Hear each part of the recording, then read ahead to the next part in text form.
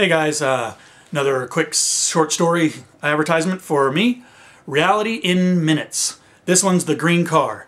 This is about a story uh, where literally, this is a true story, where I was on my way to the beach one night and a green car almost took our front bumper off and then shot right off the freeway like he wanted to. Just whoo! And it flew like 60, 70, 80 feet and both guys went flying out of the car and we had to uh, try to save them. It was pretty horrific, pretty bloody, pretty gory. This is this is a true story, and it's called The Green Car. Check it out. Reality in Minutes. The Green Car. And you can get it on Amazon.com, or you can uh, email me right here, and I'd be happy to sell you one. They're going for six bucks. That's it. All my short stories. I would sell them for less, literally, but um, Amazon doesn't allow me to. So again, Amazon.com, Daryl Price, or Reality in Minutes. I hope you enjoy them.